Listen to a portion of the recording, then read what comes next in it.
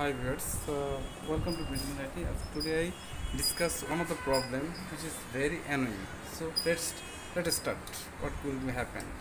Sometimes uh, when you open computer, uh, uh, let's see what what's going to happen. I open my computer, and after a few times you see uh, there is a press F1 and continue or del. Okay, so what can you do? We press first time F1. So after F1, uh, here is the message. The max TDP thermal design power of CPU is 95 watt and over. Prepare shutdown. So this is very annoying. So after that, your PC uh, shut down. So what can you do? What is the solution behind this? The solution is this: uh, you need to remove your uh, remove battery, old battery, this one thermal battery. So replace the new one. Okay.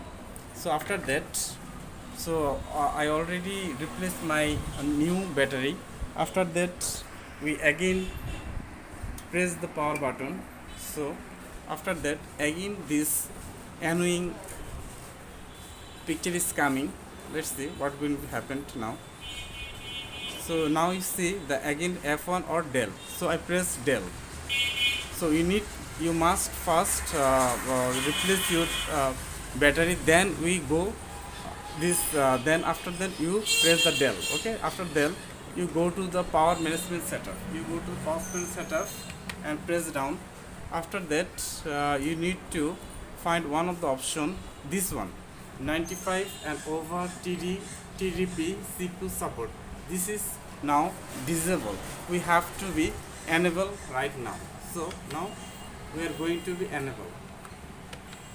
Okay after that after that we press F10 we press F10 then we press yes then press enter. So let's let's what's going to happen now? I hope uh, the problem will be solved. I hope yes, the problem going to solve. Thank you very much. If you like my video, please subscribe my channel. Thank you very much.